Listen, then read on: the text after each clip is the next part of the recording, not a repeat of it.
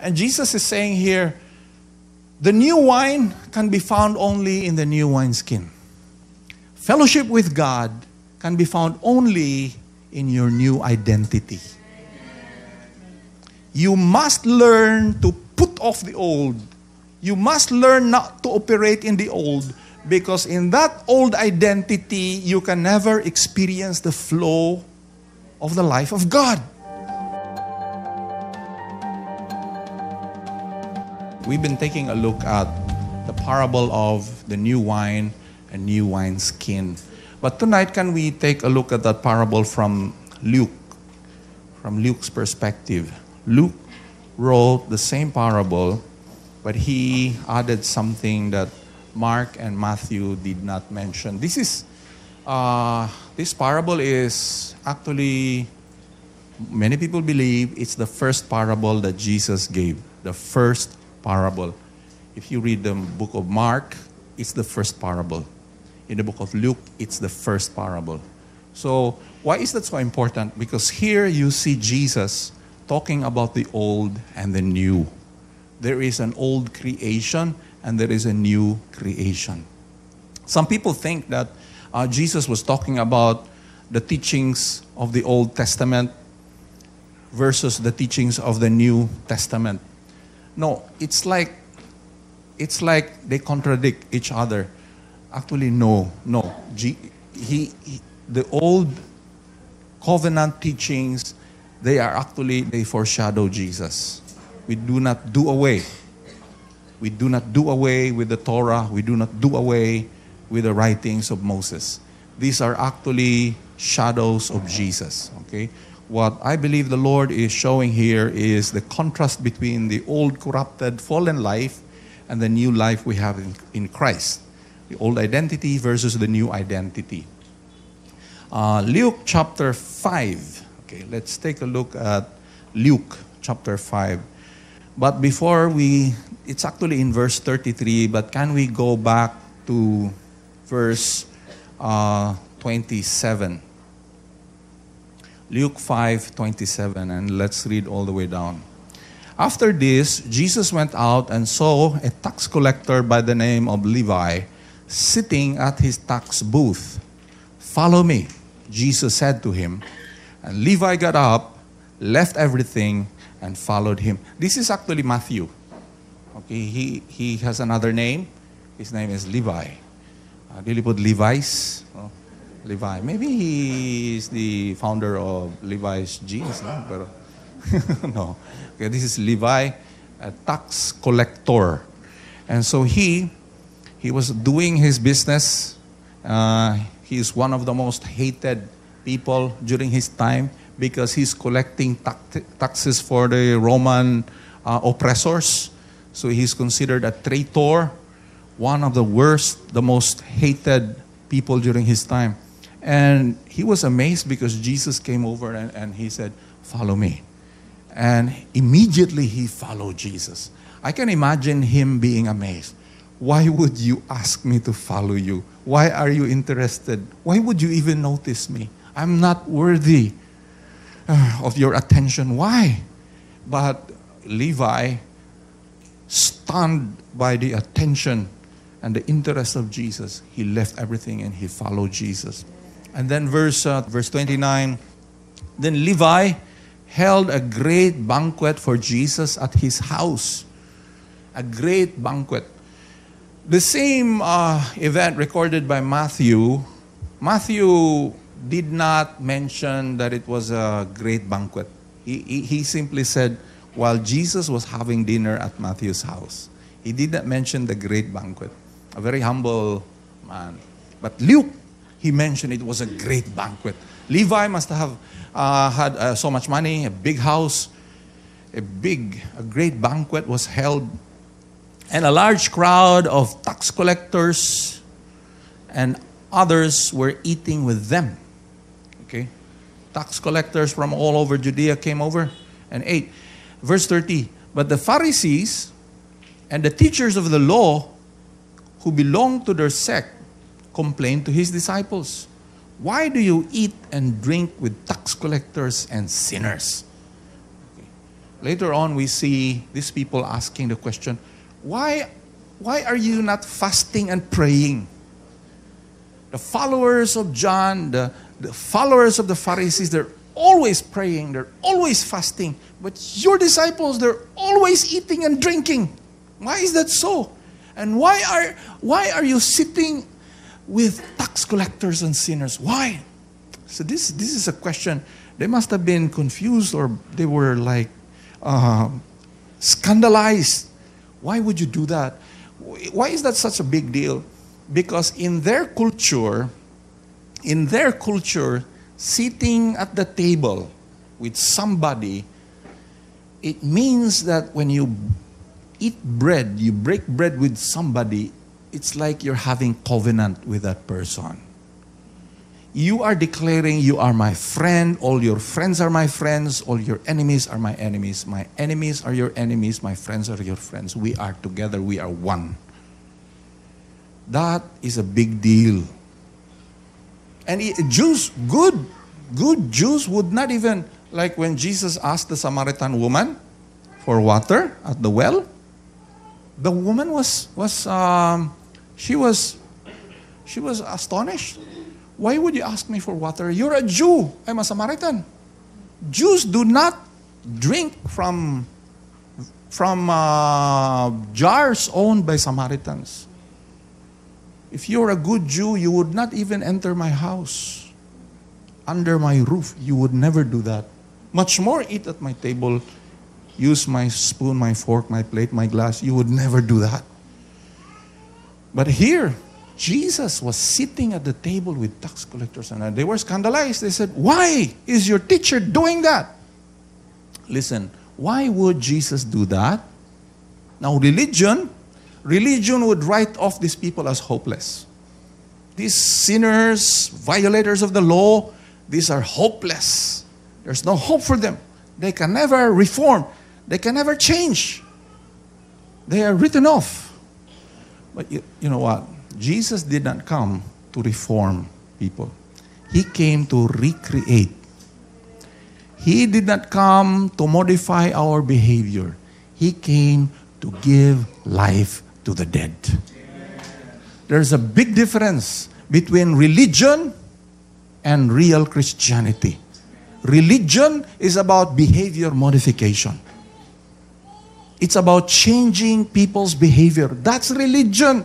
Okay, this person used to smoke. Now he no longer smokes. Wow, we clap our hands. We applaud. This person used to drink. Now he is no longer drinking or he's uh, not drinking as much anymore. Used to be he would drink um, one one uh, red horse uh, grande every day. Now it's one grande every week. We're so happy. So we it's about behavior modification. But real Christianity is different. It's bringing life to the dead. It's recreating people, putting to death the old and birthing the new. What's the difference? Like, for example, if you teach a monkey, you look and you find the pinaka handsome, handsomest monkey in Davao. And you teach that monkey to behave like a human being. Okay, you shave off some hair, ipasulob ni mo t-shirt nga ukay-ukay. And the monkey looks like looks like a child or looks like a man. Maybe you can teach the monkey to walk upright, teach the monkey, train that monkey to smile, do some tricks. It may behave like a human being, but it will never become human. It's still a monkey. Religion is about training people to behave like righteous people training people. But no. Listen, only Christ can live the Christian life. In the same way that only humans can live like humans, only Christ can live the Christian life. And He gives you His life. We didn't have life before, we were dead. But the moment we receive Him, we receive life. You are now alive with the life of Christ, and He lives His life through you. Christianity is all about Jesus living His life. It's not me trying my best to love. It's me trusting in Him and letting Him love through me. And me being amazed how He loves. Me being astonished how He loves. It's not me trying my best to be holy.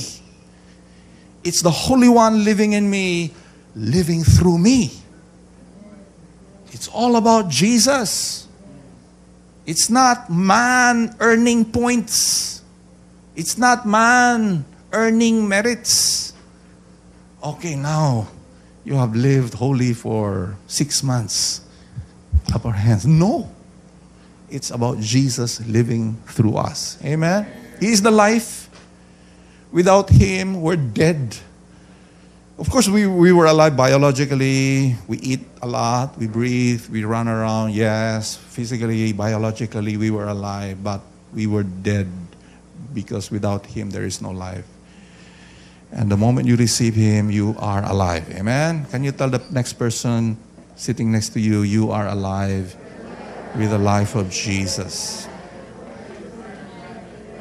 See what happened to us. How did we die? Why were we we were born spiritually dead, far separated from God. Why? Because we were included in Adam. We were included in Adam. In Adam versus in Christ. In Adam, where were you before you were born? You were in Adam. When Adam fell thousands of years ago, you were not born yet, but where were you before you were born? You were in your father. And where was your father before he was born? He was in his father. Where was your grandfather before he was born? He was in your great grandfather. And we can trace that all the way back to Adam. That day when there were no human beings on planet Earth, only Adam and Eve. No people in Davao yet, no people in the Philippines yet. The whole planet, only Adam and Eve. When they fell, you also fell. You were born in this world fallen, dead. Because when Adam died, we died. When Adam was separated from God, we were separated from God. We were born in this world, fallen, separated, dead in Adam. But the good news is Christ has come. The good news is what he did at the cross, you are included. You were included. When he died at the cross, the old you, sinful you, died. When he was buried, the old you was buried. And when he rose from the dead, you were raised up with him. And when he was made to sit beside the Father, you were made to sit as close as Christ is to the Father. That is how close you are. As far as Adam was from the Father, that is how far we were. But now, are you in Christ? Now in Christ, you are not far from the Father. Christ is in closest relationship with the Father, and you are in Christ. The reality of who you are in Christ, that is the new creation. Look at the person next to you eye in the eye, eye to eye. Tell that person you are close to the Father. You are close to the Father. Not because of your efforts. You were far from God. You were so distant from God, not because of anything you did. It's all because of what Adam did. When Adam fell, when Adam was separated, as far as Adam was, that's how far we were. Not because of anything we did. We were not born yet. We didn't do anything yet. Di ba unfair? Unfair ba na? Damay ramanggo. Now in Christ, not because of anything you did, you are in closest relationship with the Father. You are in closest relationship with the Father because Christ and the Father are one. You are in Christ. That is the new you, the new creation. We need to see that. Then we can experience rest. I used to think I can get closer to God. The more I pray, the more I'll be closer to God. That's what I used to think. So I prayed as much as possible, non-stop. Even if I was uh, riding sa jeepney, magsakay ko jeepney, I would be praying. I would be praying. Magsakay ko tricycle, I would be praying. Walking down the street, I would be praying. And of course, I look really depressed because I'm, I'm like begging God. I'm always asking forgiveness. Forgive me. Probably uh, I, I sin. Probably I don't remember. I need to, Lord, remind me. What, what did I do? What sin did I do? Forgive me, Father. Forgive me, Lord. Always begging, pleading. Oh, well, praise God. One day I realized nothing I can do to make me close to God. Nothing I can do. And why would I try to be close to God? He already brought me beside Him trying to accomplish what I could never accomplish, trying to accomplish what He already accomplished. I would be like telling Jesus, What you did is not enough. What you did is kulang. I have to add some more. It's Jesus plus something. Jesus plus this and that. What He did is enough. Jesus is enough. So here, this is why Jesus approached these sinners he had no problem sitting down at the table eating with these sinners. Why? Religion has rejected these people as hopeless. But Jesus, he sees them. They need life. And I have come to bring life. And so here, let's continue reading. Um, okay, that's verse 30. They were asking why. Jesus was sitting with his tax collectors and sinners, and Jesus answered, verse 31, Jesus answered them, It's not the healthy who need a doctor, but the sick. And I have not come to call the righteous, but sinners to repentance. I have not come for the righteous. Actually, there's no, no one is righteous. No one. When he said, I have not come for the righteous, I have come for the for sinners. He came for you and for me. And I love this. Doctors, when they, this doctor, he is eager to see the sick because he's got the cure. and so let's keep on reading. 33. And they said to him, John's disciples often fast and pray, and so do the disciples of the Pharisees, but yours go on eating and drinking. Why are you doing that? We're always fasting and praying.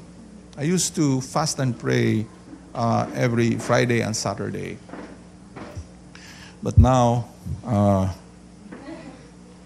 eating time, Friday and Saturday. Verse 34 And Jesus answered, Can you make the guests of the bridegroom fast while he is with them? So it's wedding time. It's it's festive, it's, it's feasting time. You cannot make them fast. Fasting, to them, fasting is you, you put ashes on your hair, you, you wear sackcloth, or maybe you, you tear your clothes. That's fasting for them. You wail, you mourn, you grieve. That's fasting. He said, No, that's very inappropriate. It's, it's feasting time, it's rejoicing time because the bridegroom is here. And then look what he said next, verse 35. But the time will come when the bridegroom will be taken from them. In those days, they will fast. That there is a kind of fast that Jesus is talking about here. And when is that? The bridegroom taken. It didn't say the bridegroom going away. It says the bridegroom taken. That word taken actually, um, it's the same word uh, translated lift up, airo, taken, lift up it's talking, Jesus is talking about the cross. Why? Because we are called to follow him at the cross. His death being our death, the death of the old, so that the new can have its place. That's the kind of fasting That there is a kind of fasting, not, not abstaining from food, but abstaining from, like for example, okay, can I give you an example? The old self has this need for recognition of men. There's need for validation of men. There's need for applause of men. That's the old self. That's the old creation. But the new self has this need for the Father's recognition, the Father's validation, the Father's applause. That is the need of the new creation. But we have, like, I have a choice. As a leader, I have a choice. Which is my food? Recognition of men or the recognition of my Father? I have a choice. And the Lord brings us through so many circumstances, so many trials, so many situations, and we make choices. And sometimes church can be dangerous. Church can be dangerous. What if our ministry grows? What if we grow so big? And what if, what if ang atong mga worship leaders, ang atong mga leaders are just enjoying the recognition of men? That is deadly. Good thing our worship leaders here, they do not enjoy the recognition of men. They do not like it when you clap your hands para. They don't like it. Diba? Diba? Am I right? They don't like it. They don't like it when you admire them. Diba? Am I right? Am I correct? All they want is that Jesus would be admired. Jesus would be seen. That's, amen? Diba? Amen. See?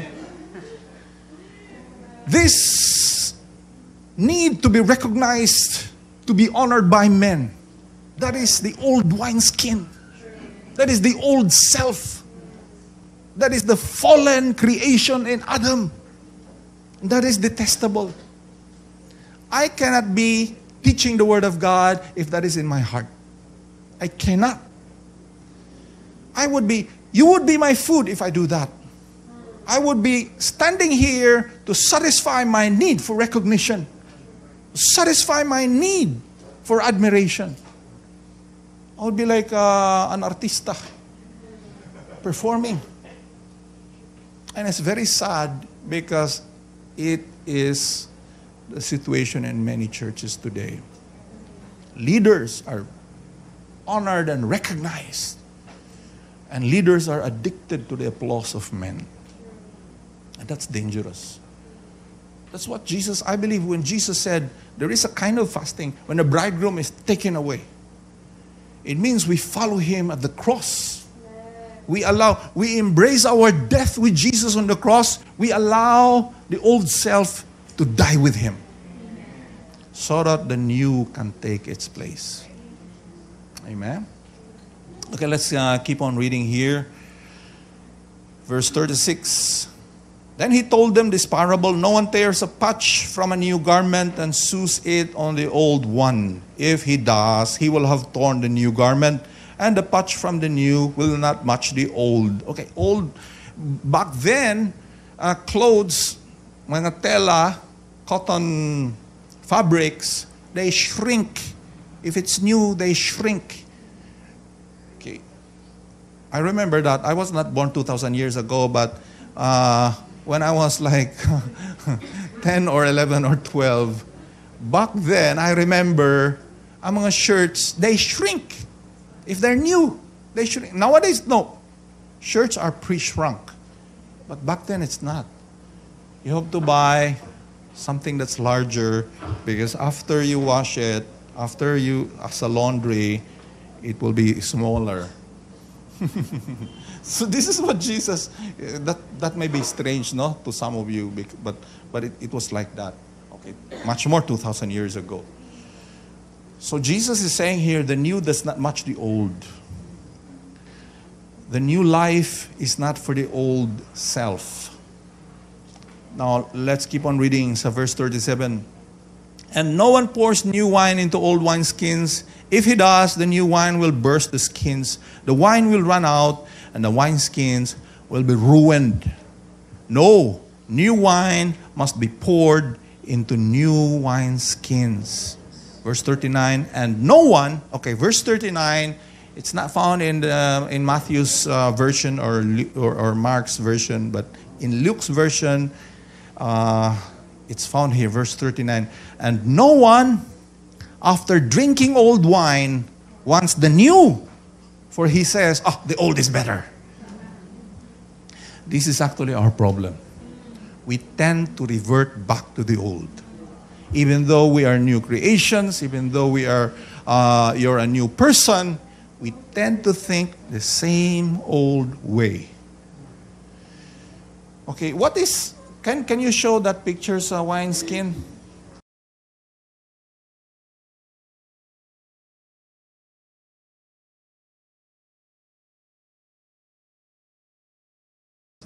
Pro- probably that's a, a kining a young uh, baka, no? Um, that's leather. You can see ang yahang feet. Or maybe that's a big uh, rum. The whole body. Okay? Ang yang liog is over here. That's the opening uh, part for the wine. They make wine out of grape juice. Okay, here sa Philippines, we make wine out of coconut nectar. Okay? Freshly harvested coconut nectar, bagong dawat, it is so sweet. But because of the sugong, you know, the bamboo container, naman na siya yeast. It's a, it's, it's a yeast colony. Yeast will convert sugar into alcohol. That's new wine. It is sweet and it's full of life. Okay? Uh, because, because yeast will convert sugar to, into alcohol along the, uh, together with the process, carbon dioxide is produced. And so it will na froth, do na mga bubbles. No? When you drink kanang freshly harvested coconut nectar, marag mamaak sa mundila, no?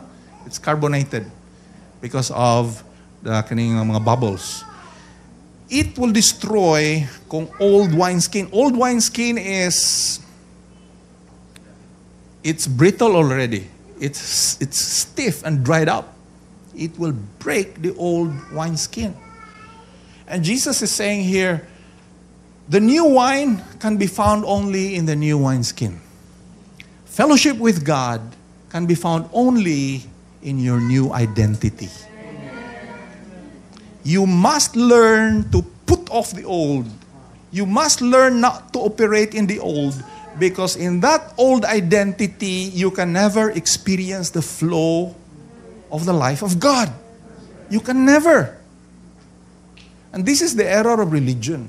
Actually, the error of religion is trying to contain the new wine of God in the old wineskin, old identity. It's man trying to earn God's favor. It's man doing his best with all his strength and all his ability, trying to make God do something. It's trying to contain the new wine in old wineskins. Me trying to earn more points because I think the more I do good, the more God will love me. That is the old self. The old self is self dependent. The new self is Christ dependent.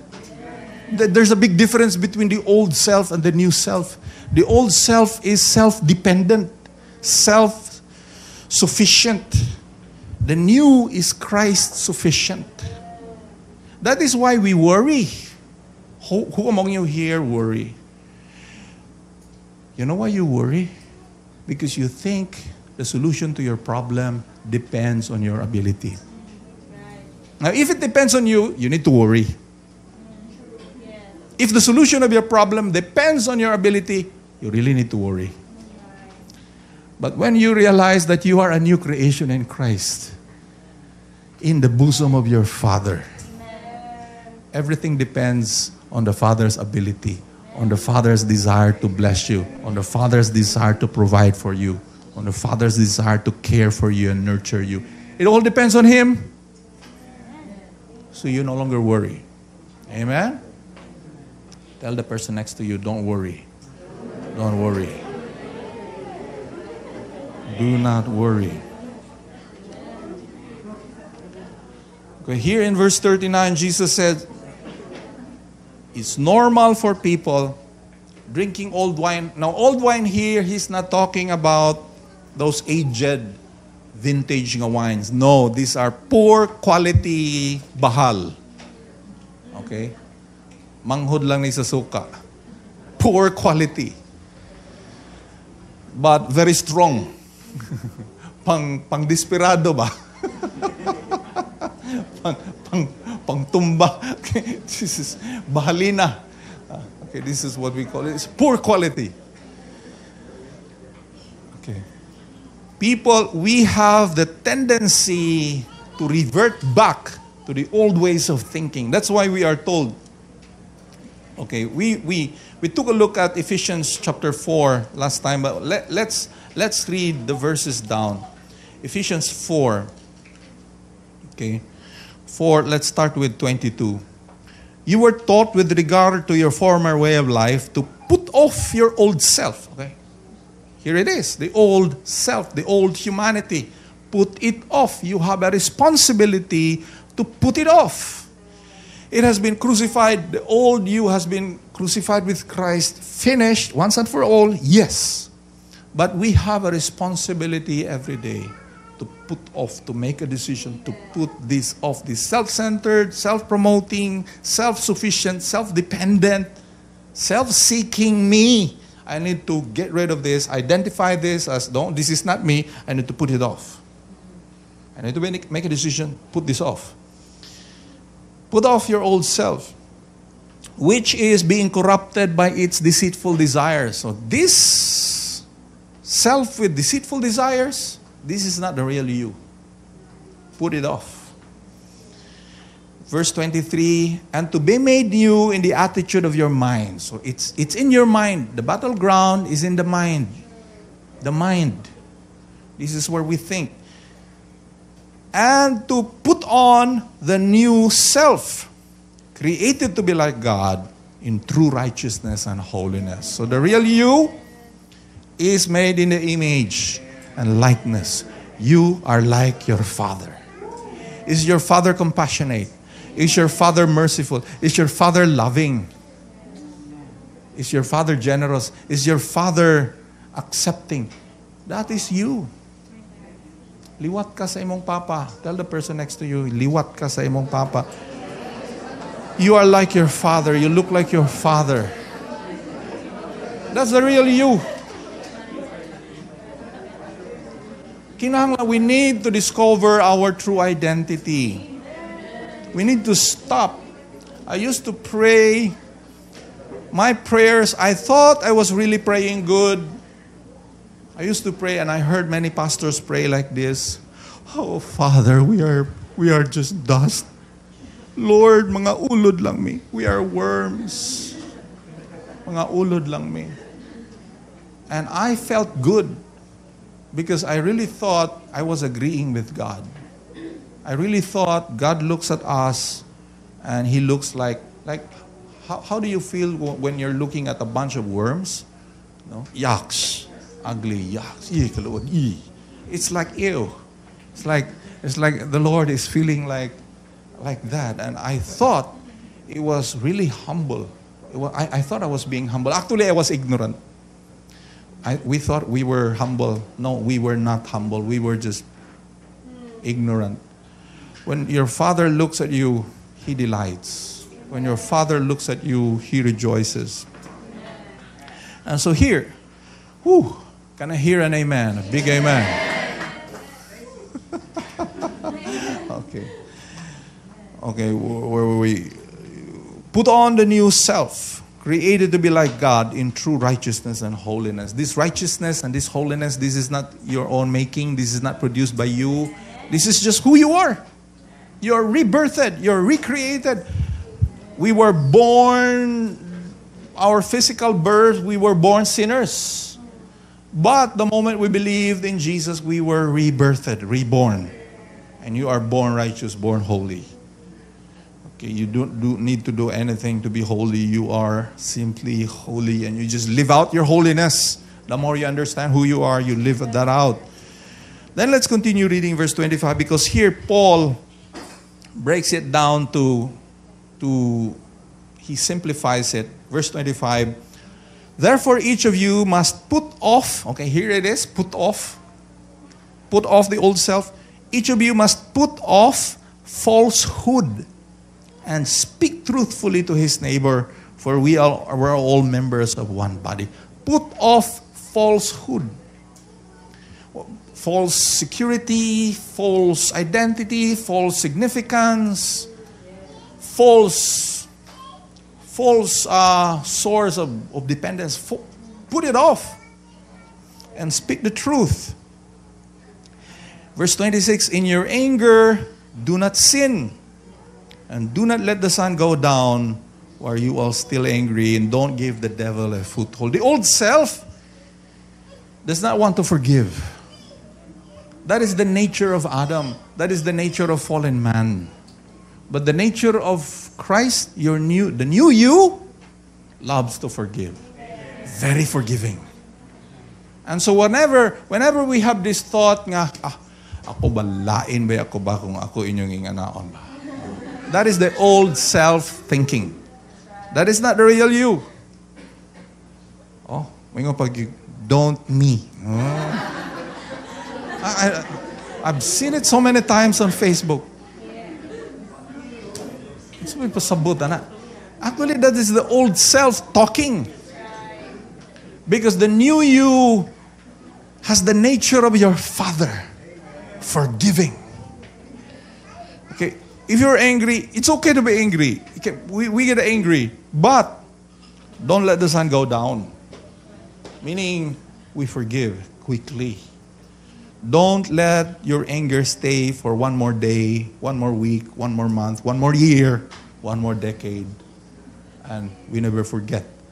That is the old self that you must put off because it gives the devil a foothold. We allow the enemy to divide, we allow the enemy to destroy. And that is the old wine skin.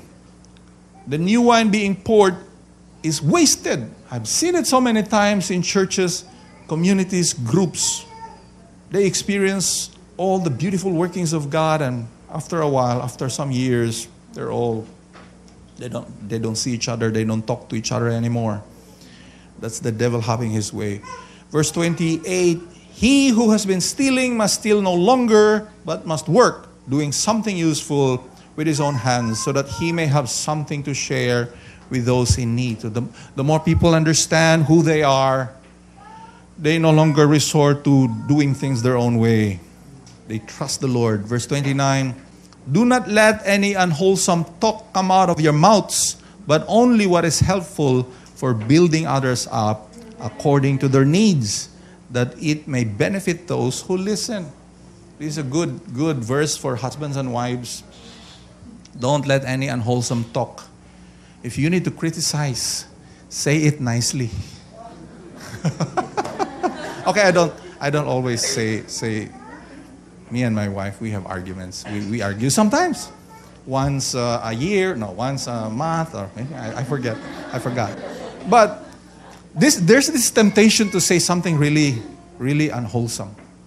Like say out of your anger. But it's good to, to, to pause for a few seconds. Who is this thinking and who is this talking? Is this the new me or the old, old, fallen, corrupted, sinful? And we make a decision to put off the old. Don't let any unwholesome talk come out of your mouth, but only what is helpful. Okay, kaning unwholesome talk, apil ba ang sungog-sungog ani? Apil no? Ah, Adili no? Yes? Yes? No? Really? Okay. Sam, ang ubang sungog kay sobra ra no? Murag matinuod na ba? But uh, but it's it's it's you, you let's be careful. Don? Okay, number one ka ba?